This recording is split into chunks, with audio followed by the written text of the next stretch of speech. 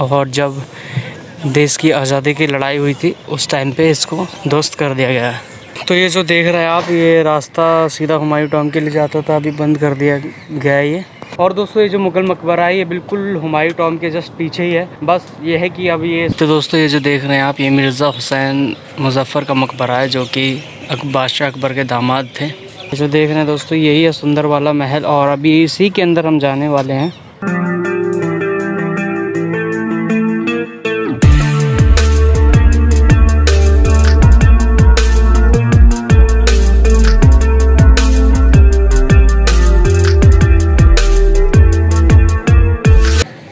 भाई देख सकते हैं ये सुंदर नर्सरी की टिकट। हेलो दोस्तों, अस्सलाम वालेकुम, स्वागत है आपका नए ब्लॉग में। तो दोस्तों, ये सुंदर नर्सरी का दूसरा पार्ट होने वाला है, जिसमें कि मैं आप लोगों को सुंदर नर्सरी में जो इमारतें हैं, वो दिखाने वाला हूँ और उनके बारे में बताऊँगा। और दोस्तों, ये जो देख रहे हैं आप, बीच में झील पड़ेगी जब आप एक इमारत है, जिसका नाम है लक्कड़ वाला बुर्ज, उसके लिए जाएँगे। तो काफ़ी खूबसूरत झील बनी हुई है ये और जिसमें कि फ़ोटोग्राफी करने के लिए सिनेमेटिक शॉट्स लेने के लिए, बहुत ही अच्छे अच्छे आप क्रिएटिव आइडियाज़ के साथ में शॉट्स ले सकते हैं और साथ ही साथ रील्स बनाने के लिए भी बहुत अच्छा स्पॉट हो सकता है। और दोस्तों, अब मैं आप लोगों को लक्कड़ वाला बुर्ज की तरफ़ लेकर के चल रहा हूँ और उसके बारे में बताता हूँ। तो भाई, ये है लक्कड़ वाला बुर्ज और अभी इसी के ऊपर जाने वाले हैं।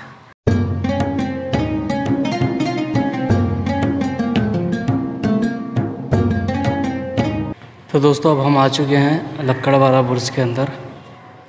और इसकी नक्काशी भी काफ़ी खूबसूरत है। ये देखिए आप, बहुत ही लाजवाब। बाकी आप गुंबद का देखिए लक्कड़ वाला बुर्ज। इसकी डिज़ाइनिंग देखिए।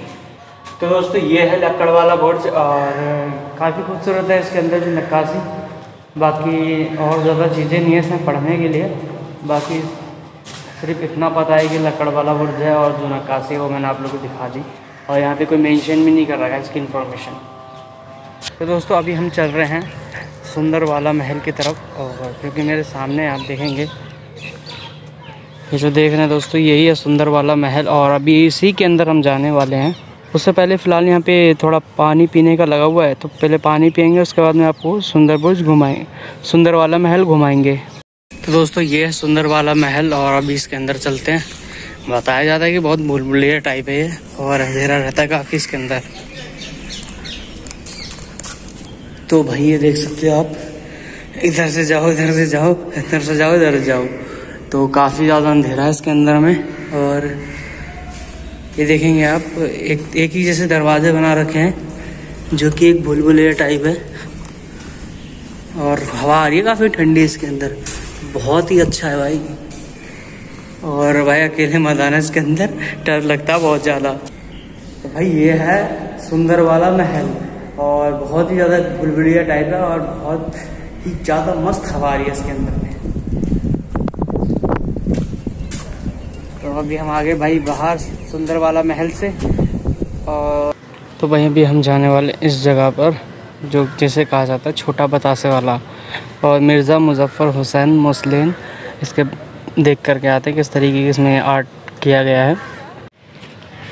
तो दोस्तों, अभी हम चल रहे हैं छोटा बतासे वाले की ओर।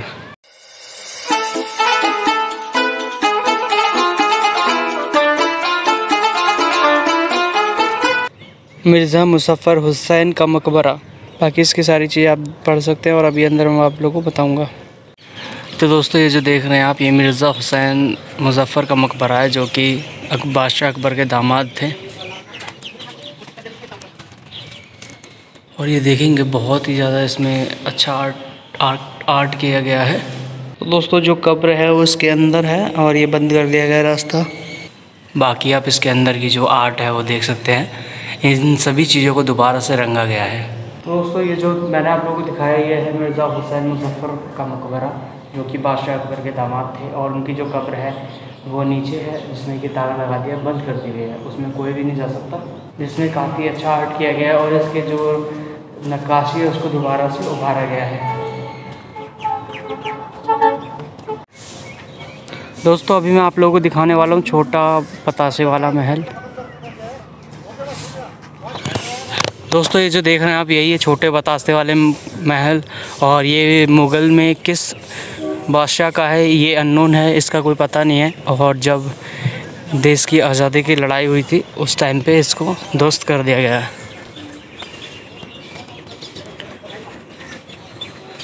तो इसकी नक्काशी वगैरह सारी चीज़ें ढह ढह गई हैं। ये हम बाहर आ गए काफ़ी खंडर हो चुका है ये भाई पूरा।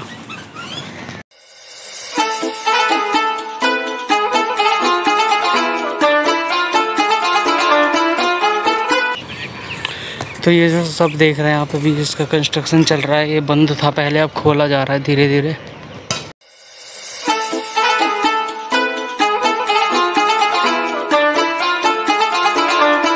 तो मुग़ल मकबरा, ये है मुग़ल मकबरा।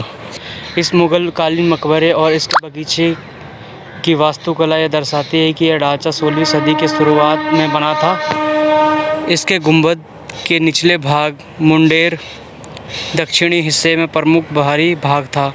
अंदरूनी भाग की सजावट प्लस्तर कार्य को रंग का तराशी कर की गई है। तो ये जो देख रहे हैं आप, ये रास्ता सीधा हुमायूं टॉम के लिए जाता था, अभी बंद कर दिया गया ये। चल रहे हैं अभी इसके ऊपर।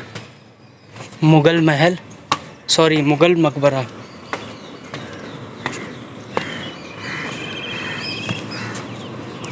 तो इसमें दोस्तों देखेंगे कि मुग़ल के टाइम मुग़ल दौर में सोलहवीं सदी में कुछ लोगों की कब्र वगैरह है यहाँ पे। लेकिन नाम मेंशन नहीं कि किन की कब्र है यहाँ पे। देखेंगे इसके चारों ओर आपको गुंबद देखने के लिए मिलेगी। गुंबद नहीं सॉरी मीनार। तो इसके अंदर दोस्तों सेम उस तरीके का वर्क किया गया है, जिस तरीके का वर्क अब्दुल रहीम खाने खाना के मकबरे में किया गया है। और अभी मैं यहाँ से चल रहा हूँ क्योंकि यहाँ पे जंगल ही जंगल है चारों ओर और कोई भी बंदा नहीं है आसपास। तो ये जो आप देख रहे हैं मुग़ल मकबरा है और और दोस्तों ये जो मुग़ल मकबरा है, ये बिल्कुल हुमायूं टॉम के जस्ट पीछे ही है। बस ये है कि अब ये सुंदर नर्सरी के पार्ट में आ चुका है और वो अलग है। और दोस्तों जो सुंदर नर्सरी का टिकट प्राइस बढ़ा है, वो इन तीन इमारतों को दिखाने के लिए बढ़ा है, जो कि मैंने आज के इस ब्लॉग में आप लोगों को दिखाई हैं। और आज से पहले किसी भी बंदे ने आपको ये चीज़ें नहीं दिखाई होंगी, जिसमें कि आपको बादशाह अकबर के दामाद का मकबरा देखने के लिए मिलेगा, साथ ही साथ आपको देखने के लिए मिलेगा छोटा बतासे वाला महल, और ये है मुग़ल मकबरा। तो यहाँ पे भी कब्र है, लेकिन मेंशन नहीं है किसकी है। ये है आपका सुंदर बुर्ज, और ये सारा उसका अंदर जो आता है वो सारी चीज़ें हैं। और ये जो देख रहे हैं आप, ये भी बहुत कुछ चीज़ें हैं। तो भाई कैंटीन में सबने ये कुछ लिया है, बाकी तो सब ओवर प्राइस था फिफ्टी हंड्रेड ये अपने बजट में था तो यही ले लिया हमने। और थोड़ा सा भूख लग रही थी। तो दिल्ली में बहुत ही बेस्ट जगह सुकून से बातें करने की, बहुत ही ज़्यादा अच्छी बना रखी है। ये देखिए, काफ़ी सारी यहाँ